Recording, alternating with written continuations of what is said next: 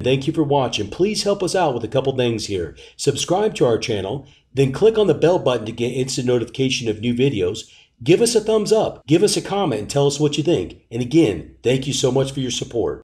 8 Unexplained Mystery Photos Part 1 Number 1 Time Traveler in Canada. This photo was taken in 1941 at a reopening of the South Forks Bridge in Gold Bridge, Canada. Went viral as people claimed it captured a real time traveler. When the Virtual Museum of Canada featured this digitized photo online exhibit in 2010, it exploded online. Internet users noted that a man in the photograph appeared to be dressed far too modern for 1941. Who is this man dressed in a t shirt? With a logo standing amongst the other men wearing traditional hats, suit jackets in 1940s. He also seems to be holding a modern camera and wearing modern sunglasses. A spike in web traffic through WebTrends and Google Analytics was noted in the unusual number of requests warranted an investigation. The museum claimed that the photo was unaltered and wasn't part of any kind of publicity stunt. Is this proof that there are time travelers? 2. Charlie Chaplin Time Traveler. Footage shot in 1928 for a promotional film for Charlie Chaplin captured a woman who appears to be talking on a cell phone. Her mannerisms and body language are similar to what you'd see today if somebody was actually walking and talking on their phone. But 1928 was 45 years before they were ever invented. Is this another proof of time travelers?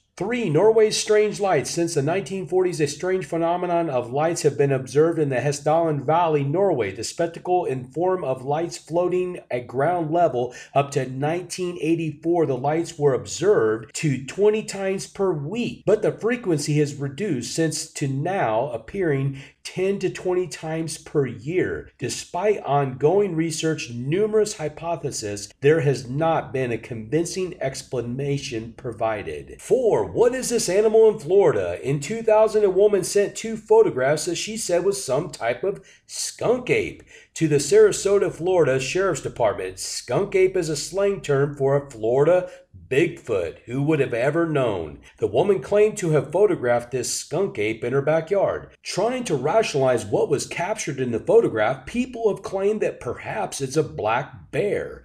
But do you think this resembles a bear? 5. The Cooper family's strange photo. In 1959, the Cooper family bought an old house in Texas and moved in. On their first night there, the father took a photo of mom and grandma holding two happy kids at the dining room table. However, when the photo was developed, a body appeared to be falling or hanging from the ceiling. Follow up investigations have failed to come up with a plausible explanation. 6. Mummified finger. Throughout history, there have been legends of giants roaming the earth. In 1995, on a trip to Egypt, Gregor Spori met a man who showed him a mummified human finger that measured 15 inches long. That finger should have come from a human being that is at least 12 feet tall. Nobody has ever been able to explain or debunk the pictures he took. Did a 12 foot tall giant roam ancient Egypt? Number seven, Yorkshire's Newby Church. Reverend K.F. Lord took a photo inside the church in 1963. In the photo, a figure of a hooded image is seen standing to the right of the altar, but the Reverend swears no people were in the church when he took the photo.